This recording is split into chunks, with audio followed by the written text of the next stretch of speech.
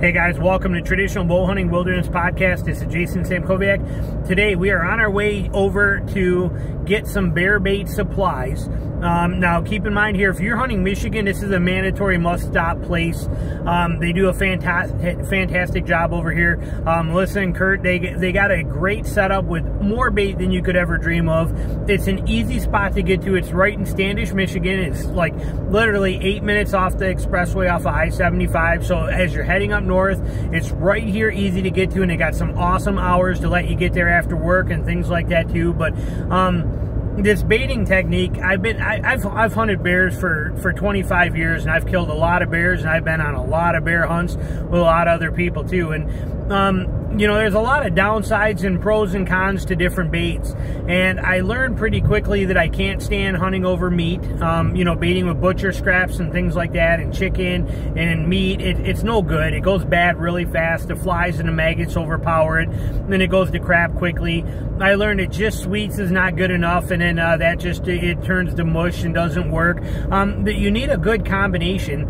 And here in Michigan, where we are not allowed to use any barrels or buckets or anything like that, it gets to be even more complicated uh, because then we don't have a waterproof container to keep this stuff in. So, you know, trying to find the right mixture of what works and doesn't work for bait has always been a battle here in the state of Michigan. And I was up uh, about four years ago on a trip up in Canada and uh, with Dusty up there. And, uh, you know, it, it, was an amazing trip. Killed bears, been up there now with him three times. It's always fantastic time up there, but his baiting technique is like nothing I'd ever seen before. And I did a video on it two years ago, and uh, I'll put a link to it at the end of this. But I'm gonna we're gonna talk about that. And then even last year, I took my daughter up there. I did not hunt bears last year, but I took my daughter up there last year, and it was amazing to see. I'll put the video clip in here right now, but you'll notice this bear was here. They took the bear from the first time he came in an hour before we before my daughter shot it with that bear coming in, going out, coming in, going out. That's because the wind had switched and the wind was blowing blowing from us directly to the bait. 100% directly to the bait.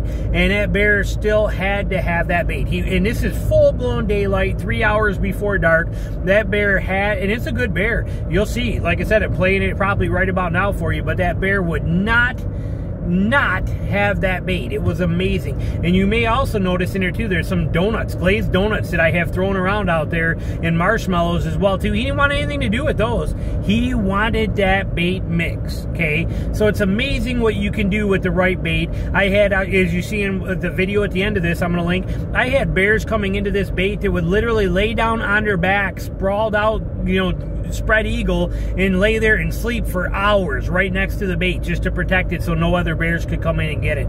It's amazing the capabilities of a good, high, powerful bait. And it breaks down into multi multiple parts. Now, we're going to be um, over at uh, Kurt and Melissa's here in just a minute. This place is amazing. They have all kinds of stuff, and the prices are unbelievable. You just cannot match it. And, uh, we're gonna stop in there right now. Go. We're they're gonna, we're gonna go right into their warehouse. That's what's nice here too is you're not walking up to a counter and going, I need this, this, and this. You actually get to walk into their warehouse and look at everything and check it out and smell it and see what's gonna work for you and what you do and don't want and uh, all these kind of things. So it's an absolute beautiful setup. Um, and uh, and like I said, their prices are so affordable and they're just they're the heartbeat of America type people. They're farmers. They're good-hearted. They they mean well. They they just they're, they're as good a people as you could ever find, and uh, I love supporting them. I love doing business with them, and uh, and like I said, they make it so easy for a, a, hunter, for a bear hunter, to be able to get everything you need and be able to create the baits that you're looking for and cover all of these aspects, the different phases of bait that are important that most people don't know about. They think it's just put some, some uh, you know, put some cookies and some meat scraps in a bucket and put it out in the woods. There is so much more that goes into that, and that's what 90% of people are doing. And uh, if you want to pull bears away from other people, this is the way it's done. This is the setup that you're going to need to do it. So um, we're going to be there in a few minutes. We're going to go in and uh, check it out and, um, you know, see what they got and, and cover everything from inside their actual warehouse, which, like I said, is a nice bonus because when you go there, you also get to go right inside their warehouse. You're not, uh, you know, it's not something that you can't do. You can go in there and check everything out on your own. So uh, I can see it actually right here. Matter of fact, I'll turn you around and show you. But let's get rolling here. But uh, that is their farm right down there, that white one right there that you're seeing with the silos and all the buildings, that is their farm right there. That is actually, let me zoom in tighter here, but that is their setup, their warehouse, their everything is uh, right there. So that's where you're going to go to get it. In their website, uh, feedmibear.com for Feed Michigan Bear. Feedmibear.com is the site, and I'll have a link down to it below and all the details. But uh, we're going to go in there and uh, take a look at some of the stuff they got. So we'll be right all right, we just pulled up. Take a look at this place here. This is uh, this is where the magic happens. Look at all of this setup in here and all this bear stuff. We're gonna go in, say hi, and uh, then I'll bring you around and show you a little bit about what we're talking about. But uh, this here is where the magic happens. Look at all this stuff right here for bear. Hey, what's happening? Uh, doing good. All right, we'll be right back.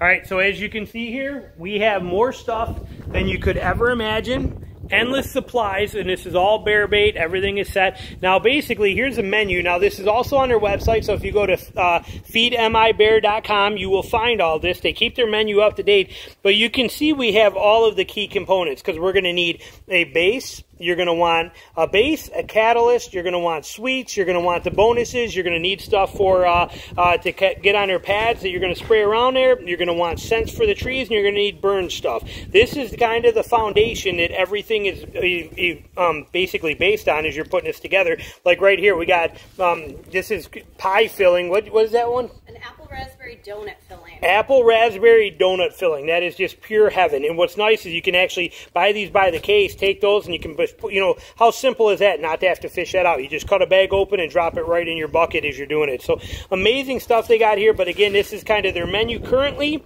And it does not matter what you're doing. It doesn't matter as long as you meet that criteria and you have that stuff in there, which is a, uh, um, you know, so if you have your base, your catalyst, your sweets, your bonus, you need something for the pad control, and then you also want the uh, the scent and uh, and the burn stuff. If you have that, you got basically everything you need. Flavor doesn't matter. The catalyst doesn't matter as long as it does and creates that. So, all right, we're gonna have Melissa here. She's gonna show us around a little bit so we can see. So say hello. Here, let's go this way because that okay. backlight, yeah. so we don't see you. There we go. And who do we have here?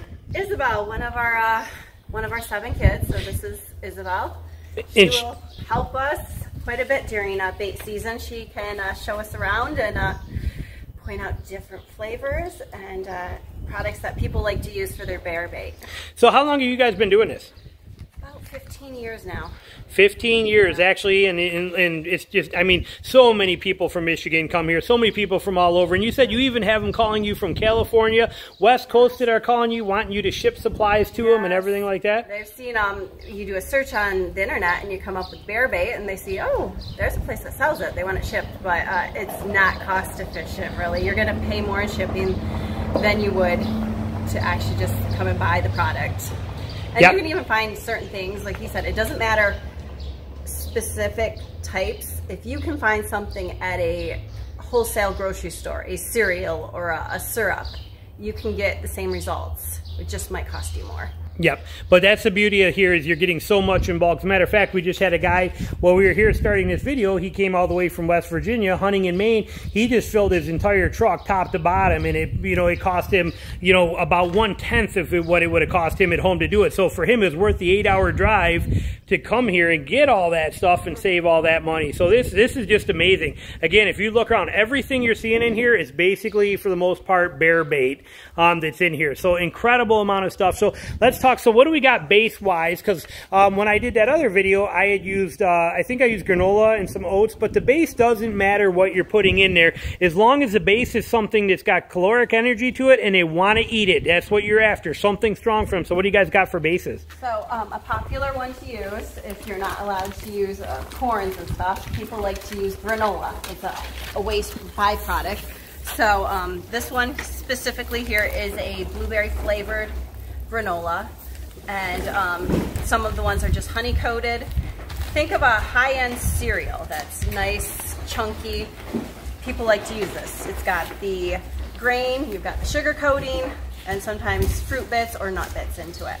Yep. And, and, what's nice too is it holds itself together real well. When you take that and you mix it with a catalyst, even if this stuff almost becomes waterproof, and in Michigan, we don't get the luxury of using buckets or pails, our bait has to go right on the ground. So when you take something like this, a base this good and this strong, and then you hit it with a little bit of a catalyst, the syrups or, uh, you know, icings or peanut butter, something that'll oil it and waterproof it, this stuff is awesome. And a bear can't take a huge chunk of this and walk away. They have to stay there to eat this.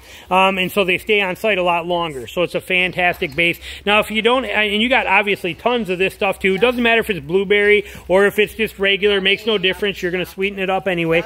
Um, what other bases do you guys have here? the granola, we have the um, Rice Krispie treat mix. So this would be a mix of, this one has a little bit of other stuff, um, like Rice Krispie treat, sprinkles, frosting is in here, sometimes chunks of margarine or sugar. Since it's a waste product, it's gonna be a bunch of the good stuff. This stuff does not dissolve in water, so this is coated in marshmallows. It's perfect, holds together. But if the bear tries to walk off with a chunk of this, it stays soft, it falls apart, they have to sit there and eat it. They're not running away from your bait pile. Which is the key, because if they yeah. can grab a big chunk of something and leave, they'll grab it, run away, yeah. eat it in the woods, and then come back for another one. Yeah. So you want to keep them there. And then you had said, too, that a lot of guys have been having great luck with this as a base um, right here, too. This is candy sprinkles, right? because last year we did run out of granola, and it was not available anywhere in the country. We could not get it during bait season.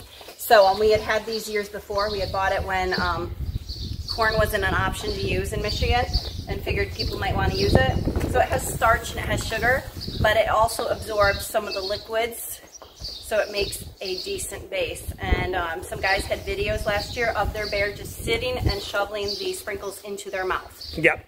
Yep, and it holds together when you mix it with other stuff too as well too. So that's fantastic. So base wise, as you can see, the options of the base is fantastic, and it doesn't matter. And like you said, you've got corn too. She does that. Here's corn right here. Corn is another one. If you watch my other video, you see that even though I was using granola, I was still putting corn in that base as well too. And when we're mixing this stuff, uh, you can do it as heavy or as, as light as you want. For me, usually, if you look at a five gallon bucket here, when I'm making this stuff, um, I'm using about a half of a five gallon bucket for each bait every time I do it. So I'm filling that up with my base of granola, and then we're doing the rest of the stuff. I'm stirring it all up, and we'll show you the other contents. But that's what I'm actually running out there is about a half of a five gallon bucket, and that way it creates that competition just like this stuff is. They can't leave. They can't grab it and take off and eat it. So, but base-wise, so we got the base stuff, got options for that. So now as far as the catalyst, what do we got catalyst-wise? Which is going to be stuff that'll hold it together. So um, we have a sticky peanut butter that you can mix in. So um, this year it's a thicker one. Some years it's thinner. And this one actually has nuts actually peanuts in, there yeah that's nice and if you want to thin it you could also just pour any of your fruit syrups or any of that stuff in there or even water you put water right in there breaks the oils down like that too and spreads yep, it real thin too A lot of people use hot water when they mix up their base um, it'll, it'll break down the sugars of other sticky stuff so they can mix it easy and as the water cools it'll thicken back up a bit. Yeah. So that is one option for um, something sticky to hold everything. Oh, what's this too? You got one right here underneath this. What are you? Nope. Nope, nope, nope. Okay, nope, we don't got that one. That's, that's the old pail. You got it. Nope. This one here is a caramel icing, so that's the option that we have for icing this oh, year.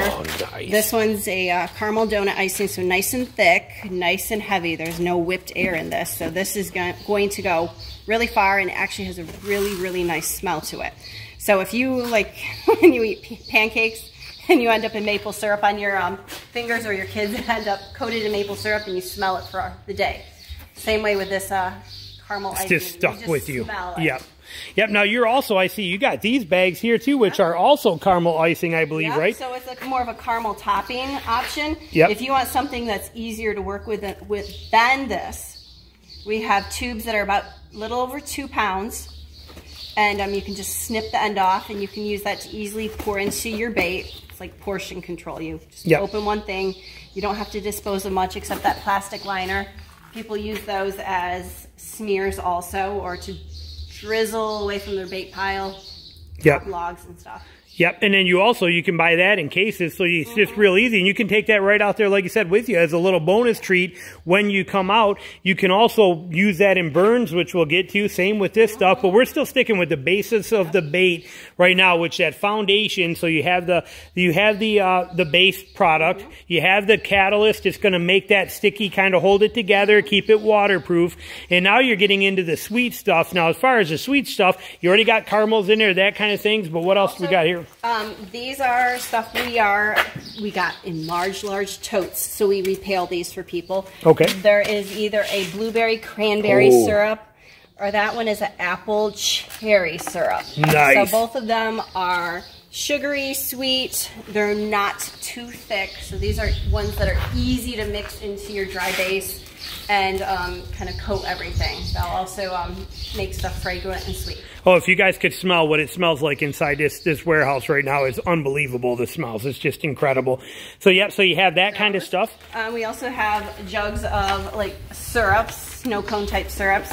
You can pour those in easily. There are a few different flavors left. They come and go as we are able to get flavors, but um, we have like orange and tutti fruity right now, but that could vary when you show up to buy the bait. Um, you can also use these in spray bottles.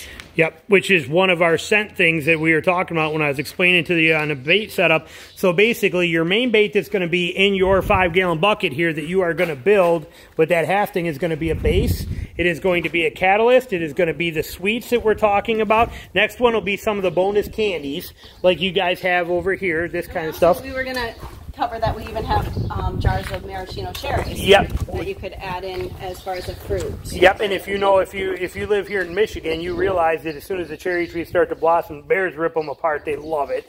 And then you have all kinds of actual hard candies, which I like to sprinkle in. So when I'm making mine, I take when I made my mix in my bucket and I'm half full, I automatically finish up by taking a couple handfuls of these and throwing them right inside. And it doesn't matter what candy it is. These ones, you got these, it doesn't matter, but some kind of candy, by putting them in there, when you take your bucket and you dump it there, all of these that were on the top are now on the bottom. So it's almost like dessert for that bear. And you'd be amazed how they'll actually pick through there sometimes if they're in the mood to get those. So those candies are well worth it. And as you can see, they got a lot of candy options here. So there's a tremendous amount of stuff. Now, and it's also right here too, which I didn't have, you guys didn't have last year, but this is dried fruit, right? We have it apple cinnamon or mango bits, and both of them are nice small pieces. And on private property, when you can use a barrel, or actually, I think um, where they changed that to, you can have barrels on federal land or state land. I think, as far as I remember, on state, on, you could, you can't run them on it, it. That you can put it, but they have to be enclosed barrels with a limit of three one-inch holes. Okay. So people want stuff that's going to come out of those one-inch holes.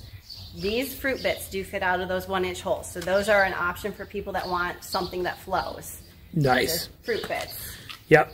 So you guys got it all covered. And then as far as now, now another thing that you're going to want to have when you're doing this, besides the bait, is you're going to be able to have to have something in a spray bottle which you can scent up that whole area. Every time you bait it, it's like a dinner bell. So when you hit that bait and you put it out there, you're going to spray this stuff everywhere. You want to be able to spray it from the tree when you're in there. And uh, that's where you guys have your bottles. You guys got your, your fruit, fruit ones like that that you can use. So that would be these, which you can buy by the case. The prices are on the website, but that would be this kind of stuff here. Some of these you could probably also put right into there and mix that right in, even if you got a water to touch to get through a spray bottle. But all of that's going to be fantastic options for that. And then the other thing you need is you need to have something that we can use for around your bait. So if that is actually your bait, when you set it, you want to coat a ring around that bait every single time for them so when they walk in they get their pads in it and then they track it. It's not just the bears but raccoons, squirrels, everything that comes into that bait is going to have to step through that. For that we're using the peanut butters, we're using this kind of stuff. You got your caramels would be amazing for that. Again, it doesn't matter what your product is that you're using or what flavor it is. Just follow that system of having that base, that catalyst, uh, the candies, the sweets, the bonus stuff for them, having that ring around there so that they're getting their paws in there and spreading it. And then the other one you got to have too is you got to have something that you can burn. Doing a honey burn is one thing. Honey works, but everybody does honey burns quite often. So having something else, again, using some of these syrups, using this caramel base, this I can't wait to get into. This is going to be amazing. These two are just going to be incredible. I have uh, I have not played with that before, but mixing that in with some of the peanut butter in there and thinning it out with a little bit of that and, and granola, man, that's going to be, I mean, it, there's just so much here and there's just no wrong way to make a bear bait, but you just want to make sure that you have all your bases covered. You got to have the solid built base um, or a solid built bait, and then you want that area covered so that they're coming in and out, they're getting it, and you want to let them know every time you're there like a dinner bell, and that's taking that stuff and spraying it around. And uh, if you got those baits that are harder, you're just starting them off, doing a burn is fantastic, but here they have everything. How do you say your last name for your farm? Red check for a tight check. So yeah, here at their farm where they have all this stuff right here, 100% family owned, family ran. Um, it'll be the, you know, it'll be those guys, it'll be these guys, it'll be Kurt, it'll be the kids, they'll be the ones loading it for you. Um, they, this is what they do. And they are right here in Standish, Michigan, like I told you, easy access right off the highway, very simple to get to. Definitely make sure you stop by here for all your bear hunting needs. They have everything you could possibly dream of.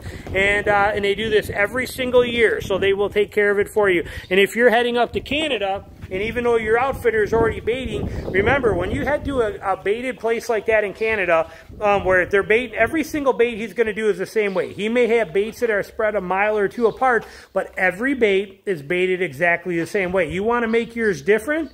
This is how you make it different. Come up here on your way, you grab a few of the things you need to bring up there, you spice your baits up, and you take it to levels that uh, none of the other baits around there are, and you start drawing those bears in, especially with a burn. If he's baiting up there in a certain place up there and he's baiting with the same stuff all the time, and you come in with your little propane burner and a pan, and you throw a bag of this stuff inside that pan and you let it burn while you're hanging your tree stand and getting stuff set up, that is going to just radiate and permeate for miles and draw bears from all different directions, something they are not used to, they are excited about, smells incredible, and that's going to bring them in there for you too. So uh, any questions too, definitely make sure you call them. They answer the phone every single time. You get them them. And, uh, and then also their website is fantastic. They keep the prices updated, which you saw right here. So they keep it, they're in stock and updated. So, oh, this is another one. Cannot wait to try this this year. I'm so excited to have that. Oh yeah, and you got actual peanuts. They're where they at? They're over here. Honey roasted peanuts. So even not, I mean, besides feeding the bears, but just think about for your squirrel feeders and things like that too. Look at that right there.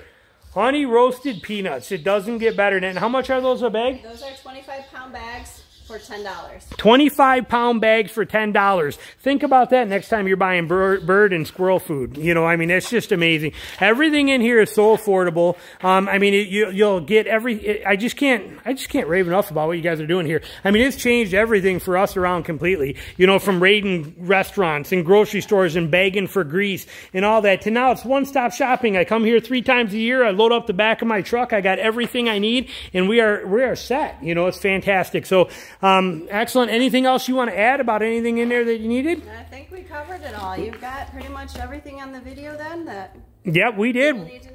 We got her covered, and uh, there it is. And like I said, you throughout this video, you saw some clips, but right here at the end, I will also show you how I mix it. Again, the ingredients doesn't matter. That time I was using oats and, uh, you know, or uh, granola. I don't remember. I think I can't remember what I was using, but I change it up regularly. But you will see that the system is what matters. The base, the catalyst, the bonus, the sweets, the, all that stuff. That's what matters. As far as behind me, what actual ingredient you use, not really relevant. Just that you meet all these bases. Give them something that's going to be more waterproof, that they cannot eat in one big chunk and run away, that they have to work for and they can't leave the area without it, and that you cover all the bases of what they're looking for calorically, sweet tooth-wise, and have everything set. And uh, here at uh, feedmibear.com, they have everything you could possibly dream of. So thanks for watching. We'll be back with more stuff soon. Talk to you later. Bye.